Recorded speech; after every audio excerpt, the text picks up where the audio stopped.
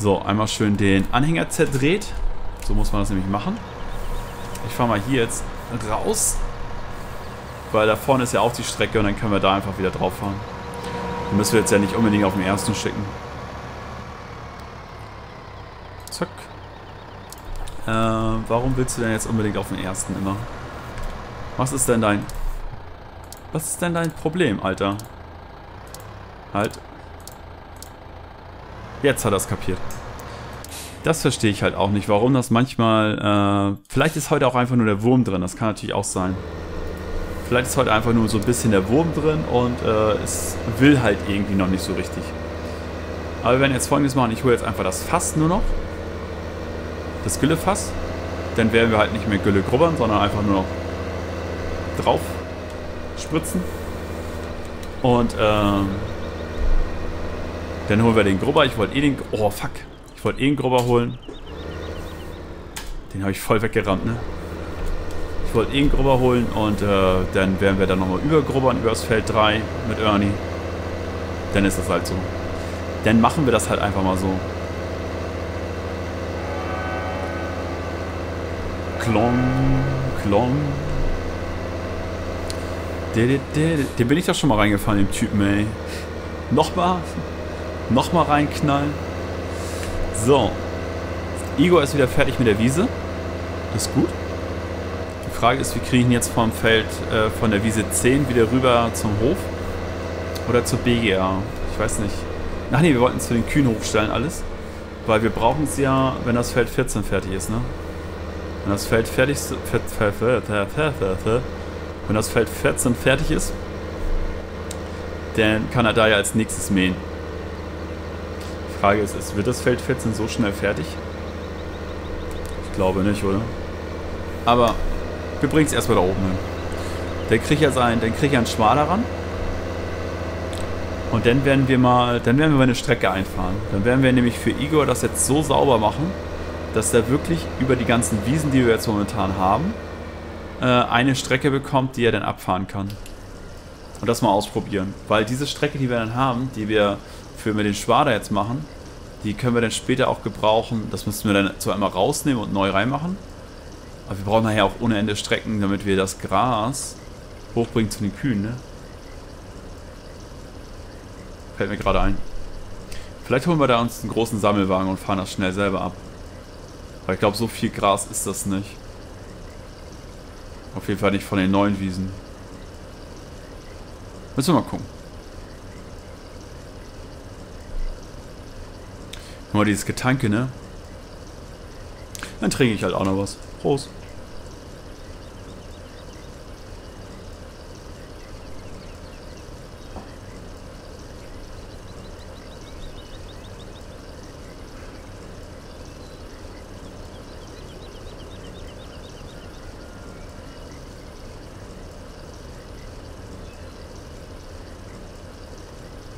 So.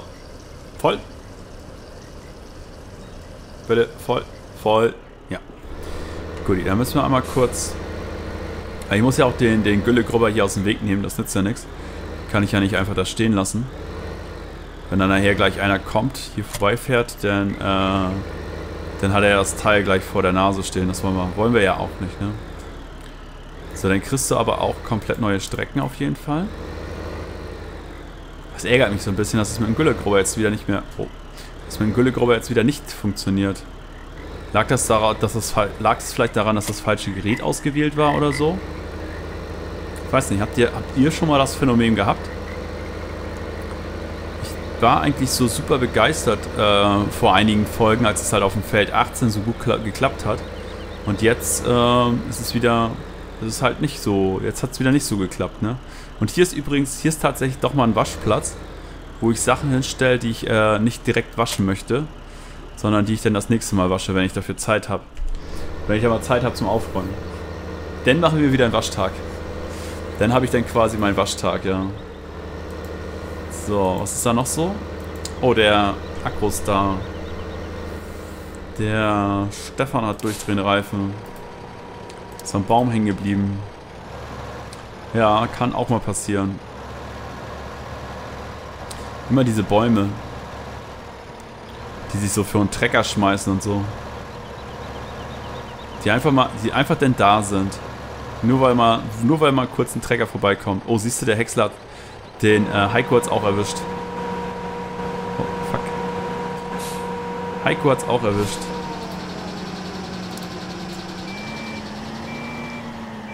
So, einmal kurz.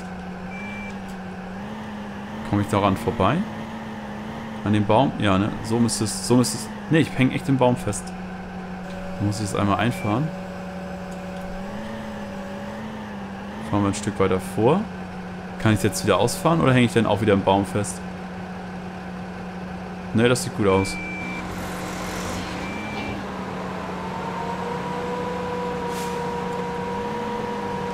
Okay. Okay. Läuft, läuft, läuft, läuft. Okay, läuft. Jetzt fahren wir noch ein kleines Stück mit. Oh, vorwärts fahren bitte. Ach ja, dieses Gehäcksel, ne? Immer dieses Rumgehäcksel hier. Ich bin jetzt zu dicht gefahren, ne? Ja, jetzt bin ich in seine Kollision reingefahren. Oh Mann, ey. Oh Mann, ey. So, ich will mal gucken, ob ich ihn von hier aus... Ah, das wird nicht funktionieren. Nee, das wird nicht funktionieren. Das sehe ich. Das weiß ich jetzt schon, dass es nicht... Dass das nicht funktionieren wird. So. Genau, schmeiß mal rein.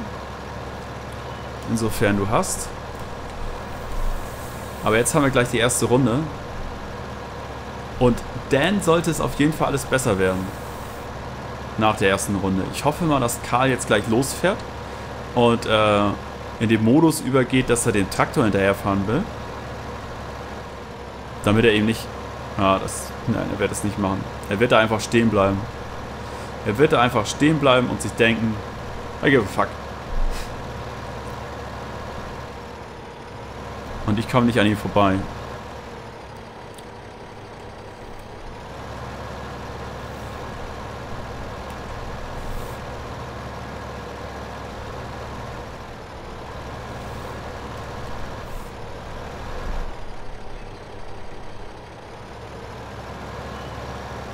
Bin jetzt natürlich zu weit weg. Mal gucken. Ich hoffe mal, dass er den Anhänger nicht wechselt. Oh, er hat den Anhänger nicht gewechselt. Oh, GG. Alles klar. Easy. So, er hat den Anhänger nicht gewechselt. Das ist sehr, sehr gut. Äh, jetzt werde ich mal gucken, dass wir... Dass ich ihn... Äh, ich werde hier mal einen Bogen fahren lassen. So einen kleinen Bogen, genau. Und jetzt stelle ich ihn wieder ein. Drescher sagt, ich soll anhalten. Dein Ernst? Dann fahr mal ab.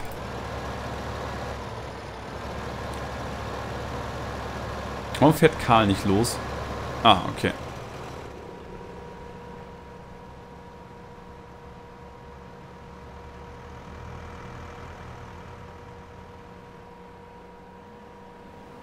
Alter.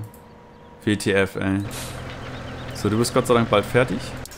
Du bist fertig, aber ich lasse dich nochmal trotzdem drin. Du bist am Überladepunkt, das passt. Und ich muss jetzt hier mit Ernie mal weiter zum Feld fahren. Damit wir dann die äh, Gülle jetzt endlich raufkriegen, ne?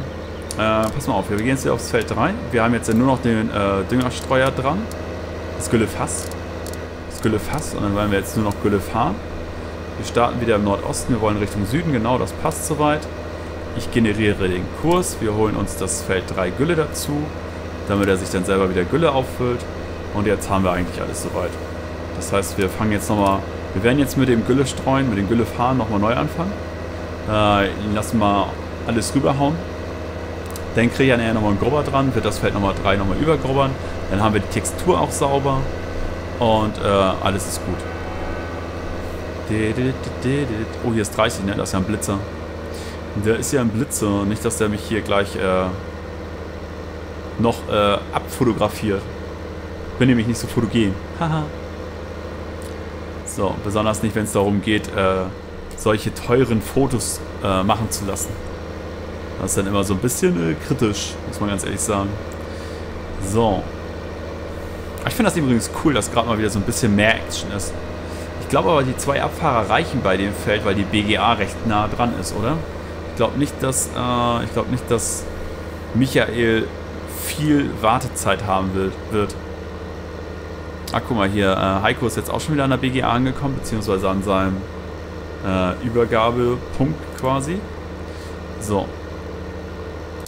Dann können wir mal gucken, wie es bei dir so aussieht, beziehungsweise bei der Kartoffelwaschanlage.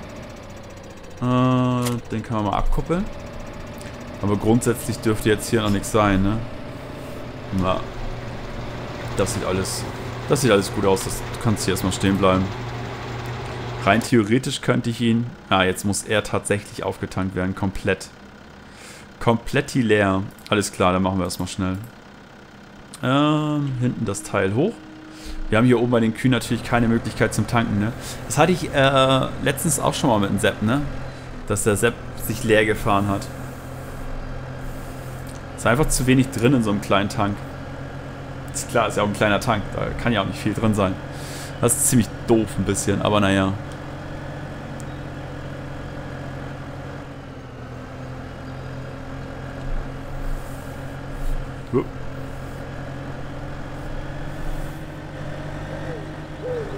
So. Dann holen wir uns mal eine Ladung Sprit. Und dann kann er da oben weitermachen. Das ist eigentlich ganz cool, wie das momentan mit den ganzen Aufgaben ver äh, verteilt ist. Achso, Tank leer, genau. Äh, der... Der RSM ist blockiert. Why? Ist der blockiert, weil der Höhlimann da irgendwie hängt, oder was? Ne, der ist blockiert, weil er keinen hat, der ihn abtankt, alles klar. Äh, ich bin natürlich dran vorbeigefahren. Also brauche ich da doch noch einen dritten, ja? Das wäre, glaube ich, doch besser. Dann stellen wir einfach äh, Jan noch mit dazu. Äh, Heiko. Heiko, Jan, Bernhard. Keine Ahnung, wie sie alle heißen. Ne, er kommt damit zu. Der kriegt dann kurz die... Ja, die Strecke, die er drin hat, ist nicht so wichtig. Ähm, wir holen uns das vom Deutz Agro, genau. Wir wollen einen Häcksler abtanken. Wir, wir fahren gegen die Mauer. Äh, ich stelle mal hier kurz das Ding wieder auf automatisch. Damit er sich neu berechnet beim Start. Beziehungsweise dann, wenn er den Häcksler gefunden hat. Äh, und du kriegst auch den RSM und los geht die Sache. Los geht die wilde Fort. So. Zack. Einmal einen Anhänger dran. Und ich schicke ihn einfach hier vorne beim... Ich hoffe mal, dass es bei ihm funktioniert beim nächsten. Dass er das richtig schnallt. Ne, er schnallt, schnallt das leider auch nicht. Jetzt hat er es kapiert. Bei ihm ging es auf jeden Fall ein bisschen schneller. So. Heiko. Heiko ist, äh, Heiko. Igor ist fertig. Igor muss rüber zum Kuhstall. Igor steht beim Feld 10. So, Feld 10 äh, hat auch irgendwie eine Strecke, dass man damit wieder zurückkommt, ne? Genau, Feld 10 zum Hof. Feld 10 zum Hof, das ist cool, das wollen wir haben. Dann sind wir nämlich da hinten und dann wollen wir irgendwas mit Kuhstall haben. Und dann wärst du eigentlich schon da, wo du hin sollst. Ähm, du fährst... Ah, cool. Ähm, Hof zum Kuhstall. Genau, das ist der richtige Kurs. Das ist eine Überführung und äh, du musst nicht am ersten beginnen, du kannst beim nächsten beginnen. Hm, wo ist denn die Ausfahrt nochmal? Ach, fuck, da hinten, ne? Ja, da.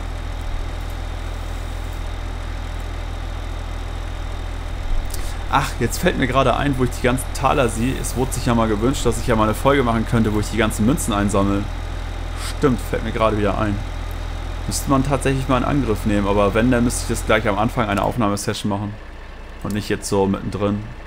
Achso, da vorne ist sie. Entschuldigung, ich dachte, er wäre schon drauf. Ich dachte, er wäre schon drauf. Ich glaube, er wird auch alle, äh, alle vorhandenen... Ich warte noch, bis der abbiegt. Ich glaube auch, er wird alle vorhandenen... Äh, hier Leitpfosten würde alle abräumen. Ja. Leitpfosten abräumen.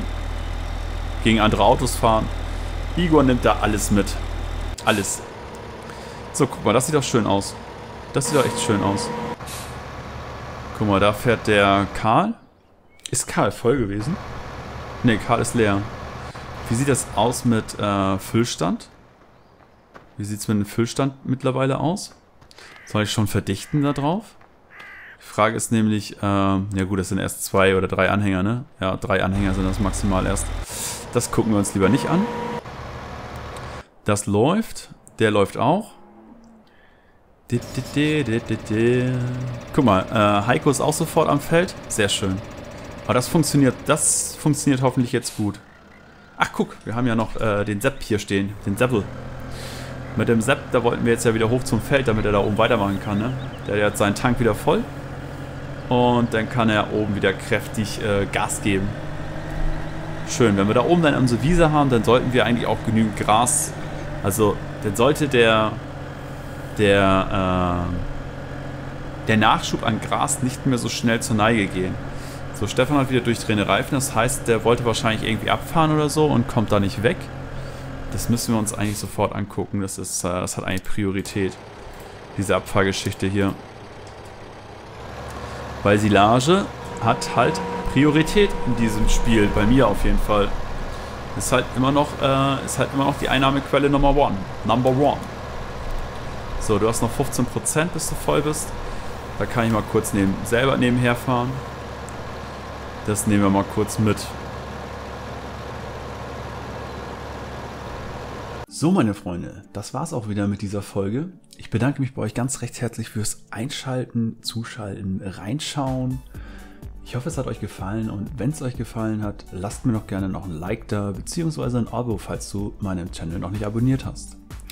So, des Weiteren findet ihr auf dieser wunderbaren Seite, jetzt auf der linken Seite, einen Link zum vorherigen Video, falls du quer eingestiegen bist. Und auf der rechten Seite findest du einen Link zur gesamten Playlist, wo du alle Folgen von dem Farming Simulator 2015 auf der Map Touribus dir anschauen kannst. Ich bedanke mich ganz herzlich dafür, dass du reingeschaut hast und wünsche dir noch viel Spaß. Bis zum nächsten Mal. Tschüss.